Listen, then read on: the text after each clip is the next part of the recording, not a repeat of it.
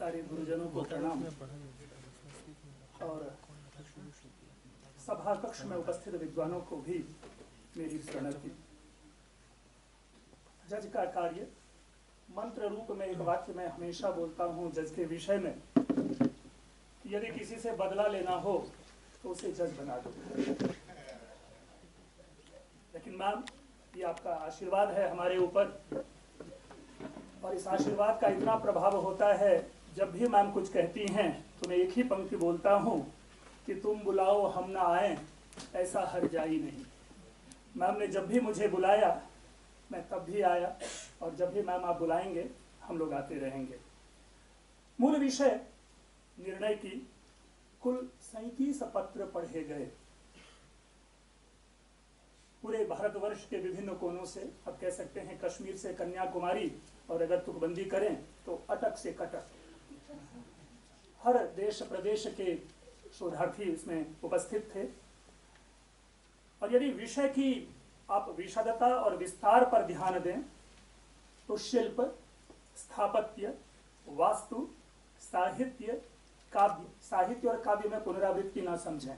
साहित्य, काव्य, नाट्य, नृत्य, चित्र, कृषि आदि इन सारी कलाओं के ऊपर में पत्र प्रस्तुत किए गए। कहीं कला की समग्रता को लेकर के पत्र प्रस्तुत किया गया तो कहीं किसी एक विषय को लेकर के।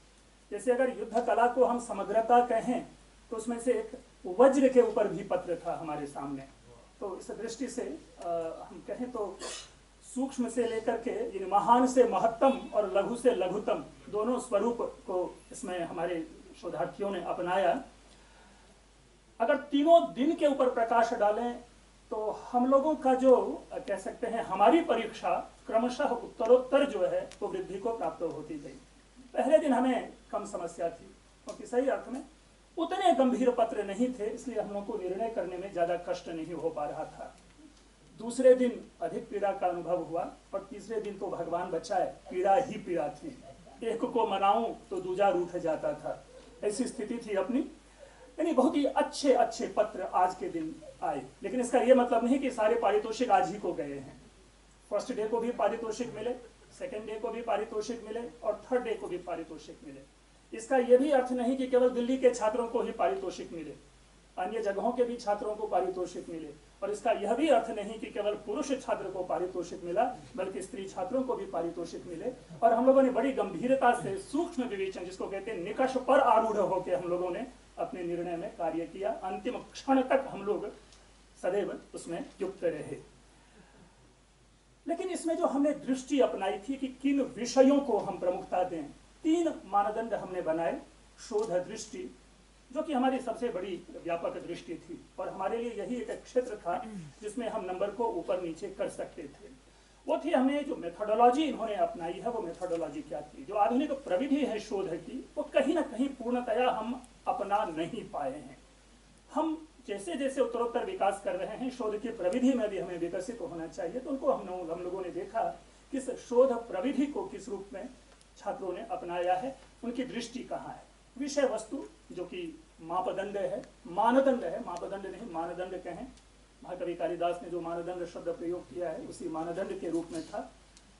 कि आपकी फाइंडिंग क्या है? आपने जो अपना विषय लिया, उस विषय से हमारे सामने प्रस्तुत क्या करना चाह रहे हैं? क्या वो पृष्ठ पेशन तो नहीं है? हम लोगों ने इसे इस, चीज़ को भी देखा और अंत में प्रस्तुतिकरण। प्रस्तुतिकरण में कई सारे पक्ष थे और डॉक्टर धर्मा जो कि हमारी शिक्षिका रह चुकी हैं अंजू सेठ मैम जो कि हमारी शिक्षिका रह चुकी हैं इन दोनों के साथ साथ मेरी भी यह दृष्टि रहती थी कि जिस शब्द को जिस वाक्य को पढ़ा जा रहा है वे भाव तदनुसार निकल कर आ रहे हैं कि नहीं। यानी यदि मैं बोल रहा हूँ जैसे हम कहते हैं वह जा रहा है हम कह रहे वह जा रहा है वह जा रहा है वह जा रहा है। एक ही तरह से अगर हम करते तो एक ही वाक्य के तीन विभिन्न अभिव्यक्ति निकल कर आ रही है। तो उन्होंने अपने वाक्यों के प्रदर्शन में किस प्रकार की अभिव्यक्ति प्रस्तुत की है वो प्रस्तुतिकरण में उसे देखता था। लेकिन उसमें भी सविशेष उच्चारण। मैंने बार बार कहा है मंच से कि हम लोग शब्द तो पढ़ते हैं उदात्त अनुदात्त लेकिन हम उसे बोल जाते हैं उदात्त अनु, अनुदात हमने इसको पकड़ा है कि नहीं उदात्त होना चाहिए ना कि उदात्त होना चाहिए। इसी तरह शब्द है प्रकृति। ये प्रकृति नहीं है। इन छोटी छोटी चीज़ों को देखा, चूँकि भूमिका कठिन थी, इसलिए हमें निर्णय के लिए। कठिनाई तब आई कि जब हम लोग निर्णय के लिए अंतिम परिणाम पे पहुँचे, और उस समय स्थिति हमारी ये थी कि कहीं पॉइंट फाइव कहीं पॉइंट टू फाइव इसका डिफरेंस आ रहा था। लेकिन हम लोग उसमें निर्दयी थे, किसी भी प्रकार का हम लोगों ने ये नहीं अपनाया।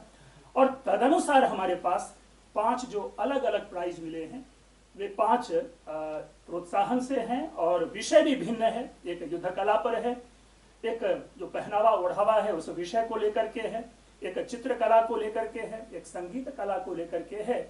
और वैदेशिक संस्कृति और भारतीय संस्कृति के नेपथ्य में यदि कहीं वैदिक और वेद का कहीं योगदान है तो उन विषयों को लेकर के जो पत्र प्रस्तुत किए गए हैं, हमने उनको रखा है। ध्यान रखेंगे, हमारे लिए विषय महत्वपूर्ण नहीं था क्योंकि छात्र भी जब आते थे, उनके विषय होते थे तो हम विषय को लेकर के भी टिप्पणी कर रहे थे कि आपका विषय जो है, ये सही नहीं है। हम कह रहे हैं भारतीय संगीत कला, और हम विषय कुछ और बोल रहे हैं तो ये उचित नहीं था। इन सारी दृष्टि को हमने वहाँ अपनाई। अब रही बात जो हमारे लिए और अधिक कठिनाई आई, और जैसे मैं हमने कहा कि शुरू में ही कि ये जज जो है, ये थैंकलेस जॉब है। हमारे अपने वेब्स स्ट्रीम के ही दो शोधार्थी के नाम पारितोषिक में थे, मैं नाम लेना चाहूँगा, अपर्णा और विकास का।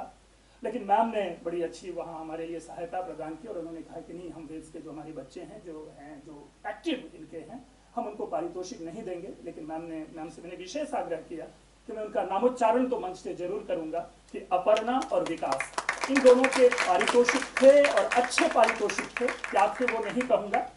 अकेले में पूछ लेंगे क्योंकि हमारे दोनों छात्र रह चुके हैं।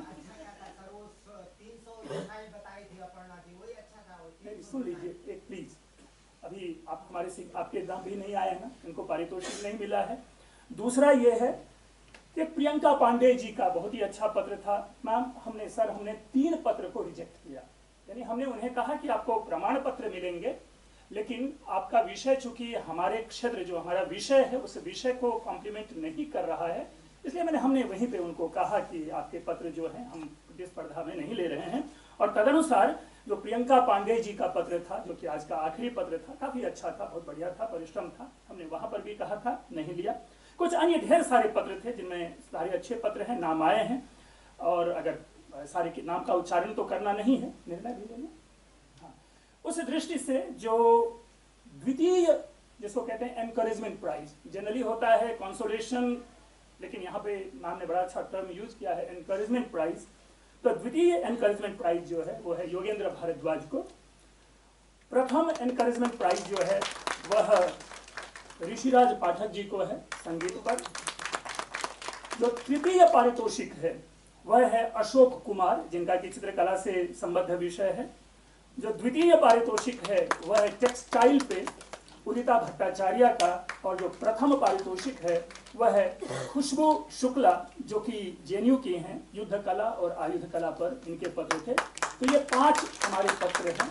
परेशानी यही है कि इच्छा तो यही होती है कि सबको प्राइज दे दें, क्योंकि सबने समान श्रम किया है। लेकिन बहुत सारी बातें होती है जिनको ध्यान में रख करके हम लोगों ने ये निर्णय लिया। अब क्या उनको बुला लें? हाँ हाँ हैं। योगेंद्र भारद्वाज जा चुके हैं। ऋषिराज पाठक द्वितीय एनकरेजमेंट सेकेंड एनकरेजमेंट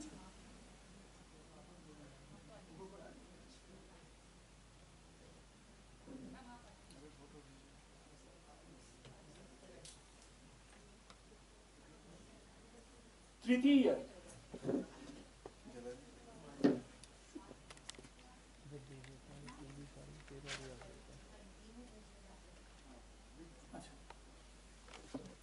साल गया दस साल गया।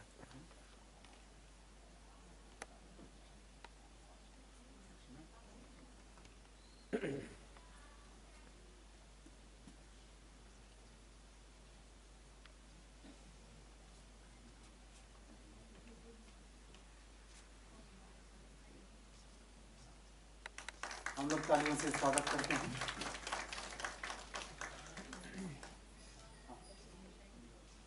जो तृतीय पुरस्कार है डॉक्टर अशोक कुमार।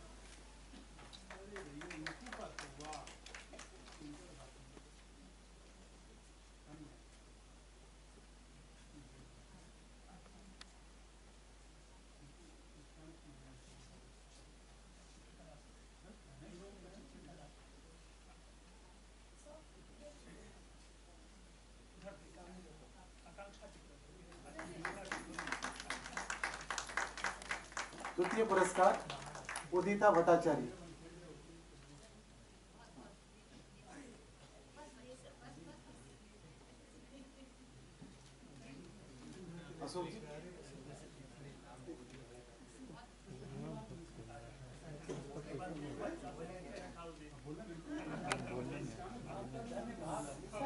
सभी प्राइज विनर्स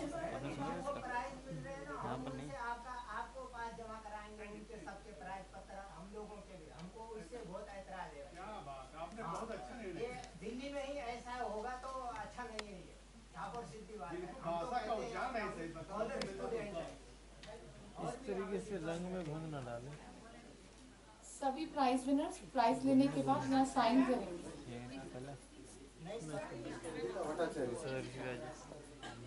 प्रथम पुरस्कार खुशबू।